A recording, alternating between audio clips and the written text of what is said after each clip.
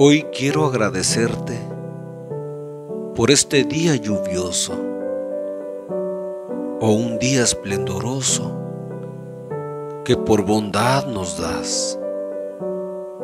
Mil gracias, Padre Eterno, por tantas cosas bellas que podemos contemplar. Hoy quiero agradecerte por ese cielo hermoso que me permites admirar los árboles, las flores, los cerros, las montañas y los peces del mar. Es tanta tu grandeza que no alcanzan las palabras para poder enlistar una a una las bondades que por amor siempre nos das.